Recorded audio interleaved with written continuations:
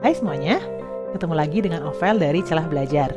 Sesuai janji saya minggu lalu, minggu ini kita akan belajar TOEFL listening mengenai pertanyaan who, what, and where.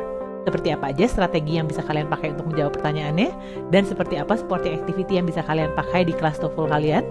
Stick around!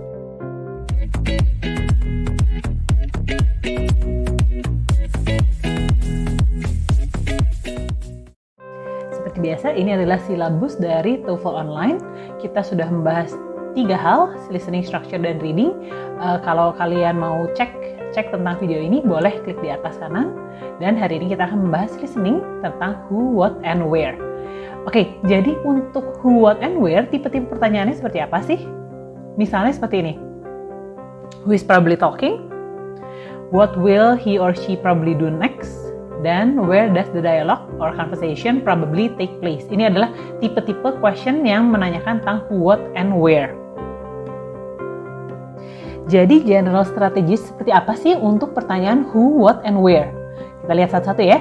Yang pertama adalah the questions might not always be about the second speaker. Ini agak beda dari yang uh, strategi saya kasih di video kemarin ya, bahwa pertanyaan sebagian besar waktu itu tentang second speaker.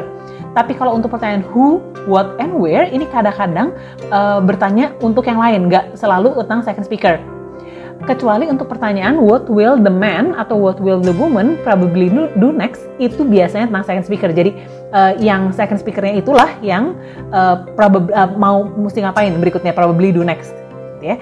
Yang kedua adalah the second speaker usually sets the context. Jadi walaupun pertanyaannya nggak tentang second speaker tapi biasanya dia sets konteksnya. Jadi uh, speaker one ya bilang sesuatu dengan speaker uh, uh, second speaker yang mengatakan sesuatu, jadi konteksnya jadi jelas. Yang ketiga adalah listen to keywords. Tapi kalau yang listen to keywords, sebenarnya ini untuk semuanya. Jadi uh, comot-comot si kata-kata keywordsnya untuk membayangkan, membayangkan si situasinya seperti apa. Kalau kita bisa bayangin situasinya, sebenarnya lebih gampang karena kita bisa ngebayangin konteks-konteksnya, eh, konteksnya di mana, dan kita bisa expect si uh, keywordsnya itu bakal seperti apa. Contohnya seperti apa? Contohnya adalah ini. Kita ini nggak bakal denger uh, listeningnya, tapi ini adalah written sample questions. Kalau kalian mau uh, pause dulu boleh, uh, pilih pilihan yang mana ya. Ini pertanyaannya, ini adalah pilihannya. Pause sekarang. Oke, sekarang kita lihat satu-satu ya. I'd like to deposit this check in my account please. Would you like any cashback? Uh, pertanyaannya adalah yang who is the woman yang uh, second speaker ya uh, keywordsnya adalah deposit, account. Ada juga cash atau back gitu ya. Who is the woman? Kira-kira jawabannya adalah bank teller karena dari keywords ini ya, deposit, check, sama account. Kalau yang kedua, have you deposited your paycheck yet? No, but that's next on my list of errands. What will the man probably do next? Nah, what will the man probably do next? Ini adalah pertanyaan tentang second speaker, si man ya. Oke, okay. uh, Oke, okay, kalau kita masih ingat strategi yang uh, minggu lalu ya kita belajar, jangan pilih pilihan yang memakai kata yang sama atau sounds like, gitu ya. Um, paycheck, paycheck, justru jangan ya, karena bukan earn his paycheck tapi deposited his pay paycheck. Write a check bukan juga. Uh, go to bank, make a list of errands, ini yang mana yang benar? Bukan yang bukan yang D ya, karena bukan make a list of errands tapi justru next on my list of errands jadi number two jawabannya adalah go to bank. Dan yang ketiga adalah did you get the bread, eggs, and milk? Womannya bilang ini, narratornya, nah where does this conversation probably take place? Uh, si second speakernya ini yang set the context, gitu ya. Kalau yang first speakernya ini bisa di mana aja, did you get the bread, eggs, and milk? Uh, bisa di mana aja. Tapi kalau second speakernya nggak bilang bahwa we need to stand in line at the checkout counter, uh, stand in line dan checkout counter kita nggak tahu nih terjadi di mana tapi karena ada keywords uh, stand in line sama checkout counternya kemungkinan besar terjadinya in the market Oke, okay. yang berikutnya kita akan mendengarkan uh, sample questions um, yang kalian bisa dengar si uh, recordingnya. Sekarang saya akan memainkan recording untuk sampel questionsnya dan di antara nomor-nomornya saya akan memberikan jeda waktu 12 detik seperti pada TOEFL yang beneran ya. Jadi kalian nggak usah pause si uh, videonya setiap habis uh, satu nomor. Siap? Kita coba. Number one. I didn't bring my laboratory manual today. You can share mine. Today we're conducting the experiment on photosynthesis, and we can work together. Where does this conversation probably take place?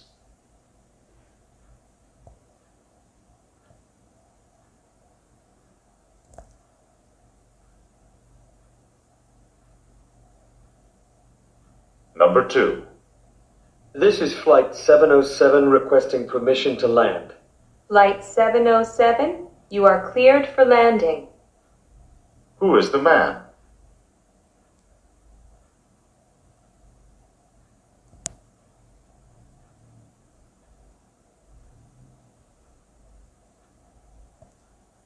Number three. Do you want to do the dishes now or later? I'd rather put them off as long as possible. What will the man probably do?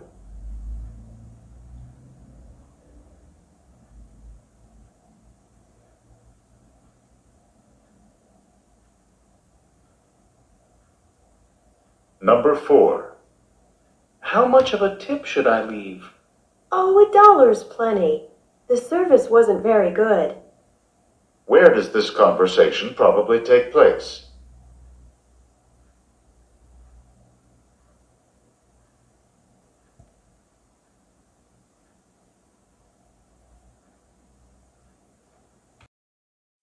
Next, kita akan bahas satu-satu dan saya akan mainkan lagi recordingnya untuk masing-masing nomor. Oke, yang pertama ini. Number one. I didn't bring my laboratory manual today. You can share mine. Today we're conducting the experiment on photosynthesis, and we can work together. Where does this conversation probably take place? Oke, saya akan share uh, recording scriptnya untuk kita bahas bareng-bareng ya. Ceweknya bilang, I didn't bring my laboratory manual today. Uh, ini bisa terjadi di mana aja ya, mungkin bisa terjadi di kos-kosannya, mungkin terjadi di kelasnya. Tapi man-nya, the second speaker-nya set the context seperti ini. Today we're conducting the experiments. You can share mine, my my laboratory manual ya, and uh, the experiment on photosynthesis can work together. Kalau dengan clue seperti ini, kemungkinan sangat besar adalah apakah jawaban kalian benar? In a biology laboratory. Yang nomor dua. Number two. This is Flight 707 requesting permission to land. Flight 707, you are cleared for landing. Who is the man? Oke, okay. recording scriptnya. Uh, nah, untuk yang ini ya, tadi ya, pertanyaannya nggak selalu tentang second speaker ya. Justru uh, pertanyaannya adalah tentang si first speakernya. This is flight 707. Dari keywords ini, Flight 707 requesting permission to land, uh, you are cleared for landing, who is the man? Ada kemungkinan sangat besar bahwa dia adalah seorang pilot. Ya, oke. Okay. Number three. Number three. Do you want to do the dishes now or later? I'd rather put them off as long as possible. What will the man probably do?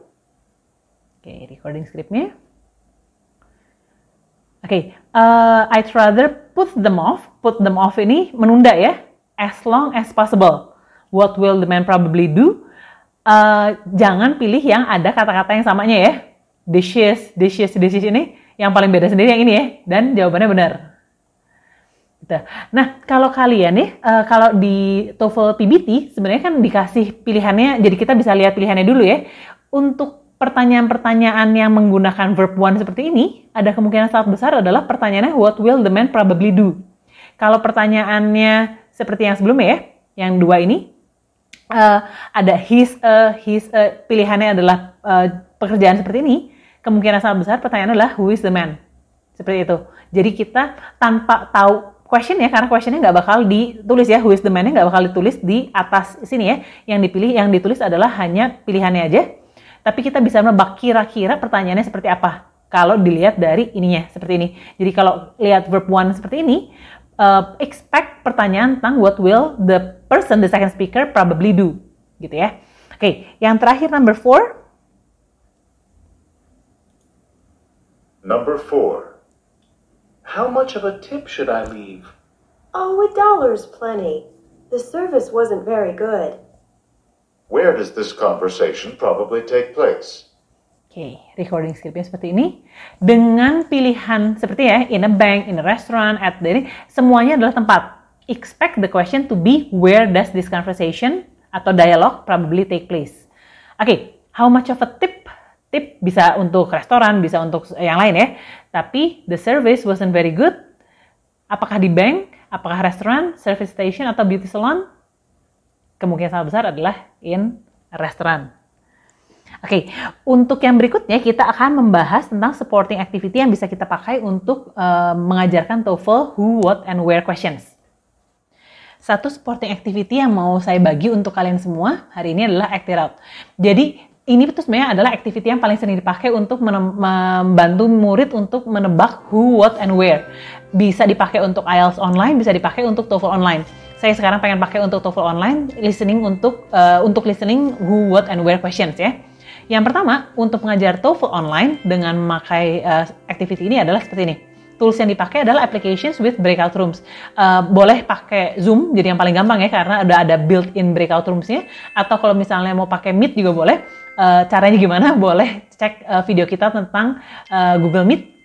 Dan seperti apa sih? Ini jadi seperti gini. Jadi students work with a partner atau kalau misalnya ada group of three juga nggak apa-apa.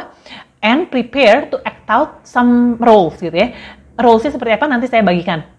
Nah, kalau mereka udah di breakout room, mereka prepare dulu, nanti breakout roomnya di break dulu, dan di regroup. Di regroupnya seperti apa? Combine two pairs of students. Jadi tadinya dua atau tiga, jadi empat atau enam, gitu ya.